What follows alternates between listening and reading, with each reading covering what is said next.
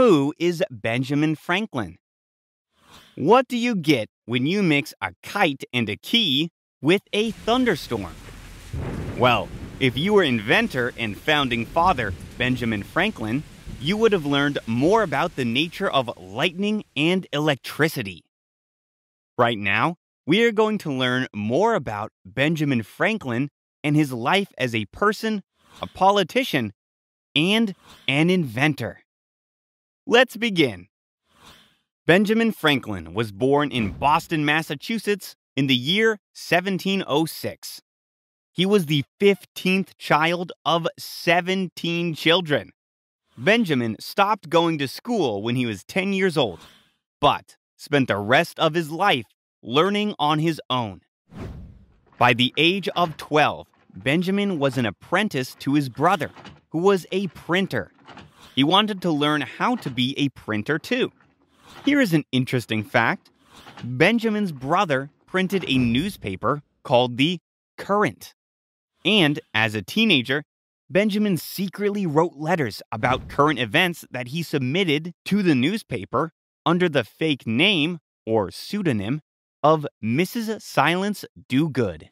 At age 17, Benjamin ran away to Philadelphia, and by age 23, he was running his own newspaper called the Pennsylvania Gazette. This newspaper became one of the most successful newspapers in the 13 colonies. Here is another interesting fact Benjamin Franklin was the first person to use maps and publish editorial cartoons in a newspaper. In 1730, he established a common law marriage with Deborah Read. He had three children William, Francis, and Sarah. In 1732, Benjamin started publishing Poor Richard's Almanac, another newspaper that shared weather reports, recipes, predictions, and memorable sayings called aphorisms. Have you ever heard the saying, a penny saved is a penny earned? What about actions speak louder than words? Those are both examples of aphorisms.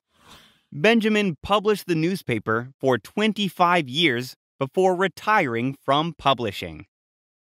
Benjamin Franklin was also one of the United States' founding fathers and was one of the five men involved in drafting the Declaration of Independence.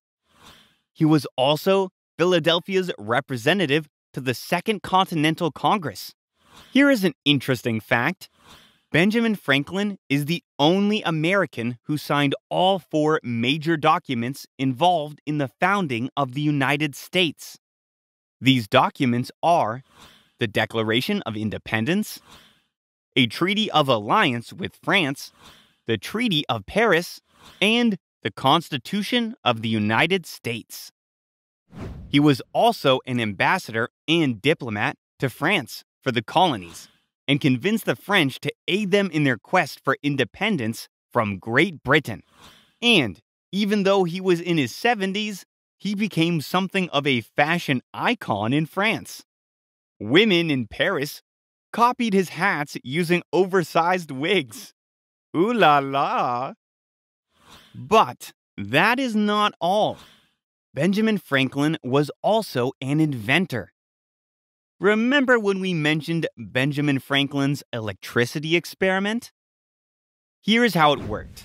During a thunderstorm, Benjamin made a simple kite and attached a wire to the top of it to act as a lightning rod. He attached a hemp string to the bottom of the kite and attached a silk string to the hemp string. Benjamin used two types of string for a very specific reason. He hoped that the hemp string once it got wet from the rain, would conduct an electrical charge. The silk string would be kept dry, as it was held by Benjamin as he was sheltered from the rain.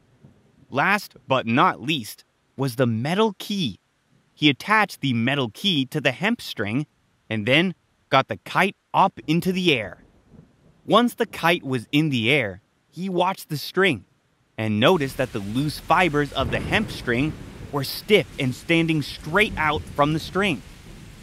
When Benjamin moved his finger near the key, he felt a spark. From this result, he realized that lightning carries an electrical charge. Cool, right?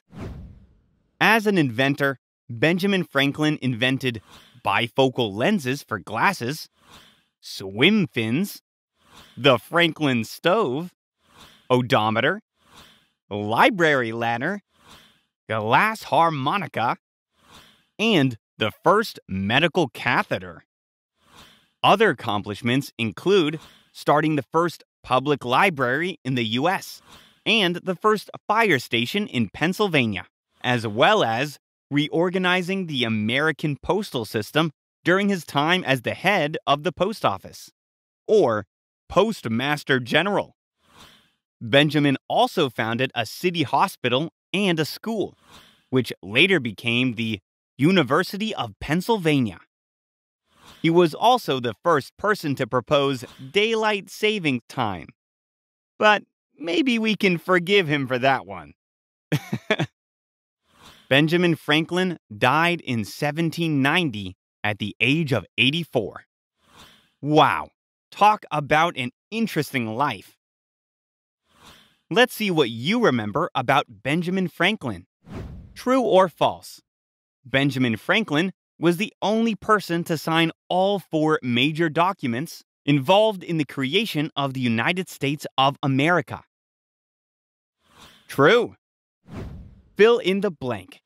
One of Franklin's famous aphorisms is A blank saved is a penny earned. Penny. Benjamin Franklin was a diplomat to which European country? France. Great job, friends. Even though he lived a long time ago, Benjamin Franklin was and is one of the most famous founding fathers of the United States and was an important inventor and diplomat. The next time you see a $100 bill, take a closer look. You might just find Benjamin Franklin's picture looking back at you. Hope you had fun learning with us.